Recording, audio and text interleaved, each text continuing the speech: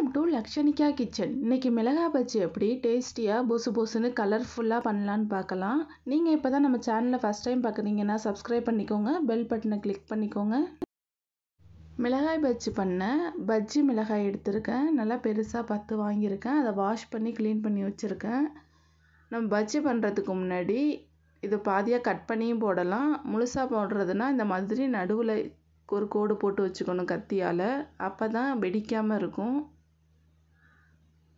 இந்த மாதிரி ஃபுல்லாக கோடு போட்டு வச்சுருக்கேன் எல்லாத்தையுமே.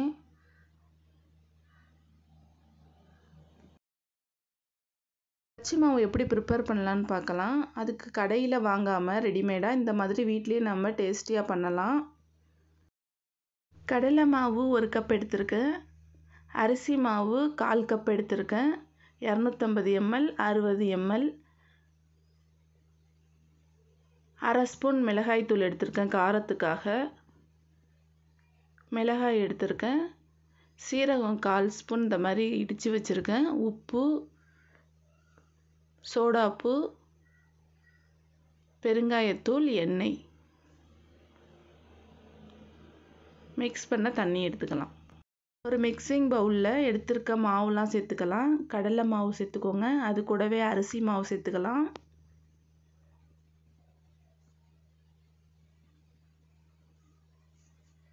அது கூடவே எடுத்து வச்சுருக்க மிளகாய் தூள் சேர்த்துக்கலாம்.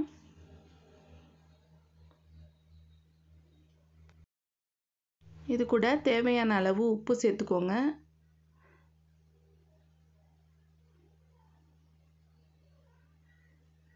சோடாப்பூ சேர்த்துக்கலாம். ஒரு கால் ஸ்பின் சேர்த்துக்கோங்க. ரொம்ப சேர்க்க வேணாம்.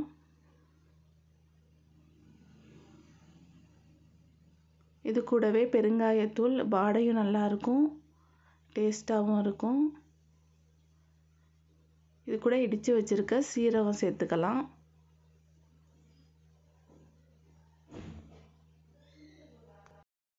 இது அப்படியே மிக்ஸ் பண்ணி விடுங்க. அப்போ தான் உப்பு சோடாப்பு நம்ம சேர்த்துருக்க காரம் எல்லாமே நல்லா மிக்ஸ் ஆகும். தண்ணி சேர்க்குறதுக்கு முன்னாடி இப்படி நல்லா மிக்ஸ் பண்ணிக்கலாம்.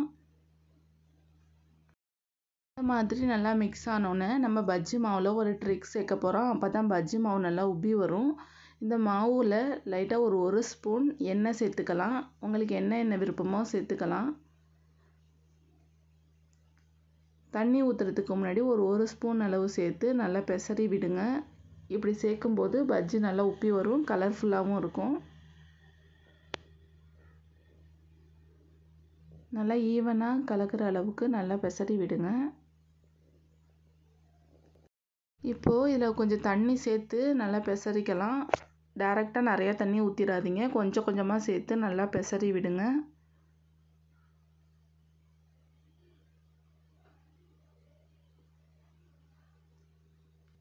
ரொம்ப தண்ணியாகவும் இருக்கக்கூடாது பிட்டாகவும் இருக்கக்கூடாது. எடுத்து ஊற்றினா லைட்டாக விழுகிற மாதிரி இருக்கணும். இது கூட இன்னும் கொஞ்சம் கூட தண்ணி சேர்த்துக்கலாம்.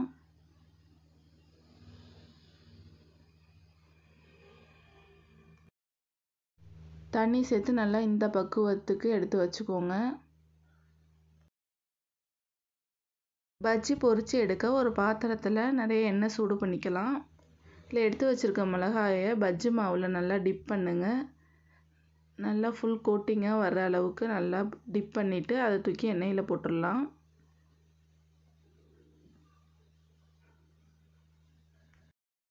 மீடியமில் வச்சு லைட்டாக திருப்பி விடுங்க.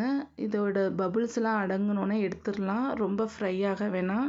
கலர் கோல்டன் ப்ரௌன் கலர் வந்தோடனே எடுத்துடலாம்.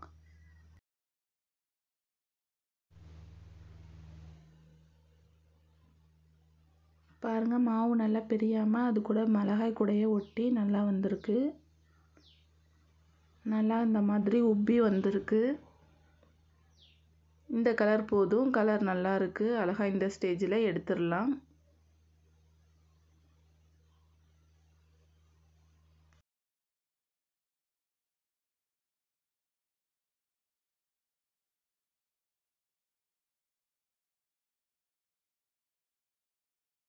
மாதிரி நம்ம ரெடி பண்ணி வச்சுருக்க எல்லாத்தையுமே போட்டு எடுத்துக்கலாம். அவ்வளோதான் போட்டு திருப்பி விட்டு இந்த மாதிரி பபுள்ஸ் அடங்கினோன்னே எடுத்துடலாம். ரொம்ப ப்ரௌன் கலர்லாம் ஆக வேணாம். கோல்டன் ப்ரௌன் கலரில் இருந்தாலே போதும். நான் ரெண்டு மிளகாய் இந்த மாதிரி கட் பண்ணியும் போட்டிருக்கேன். பாருங்கள் பாதி பாதி மிளகாய் இந்த மாதிரி கட் பண்ணி போட்டிருக்கேன்.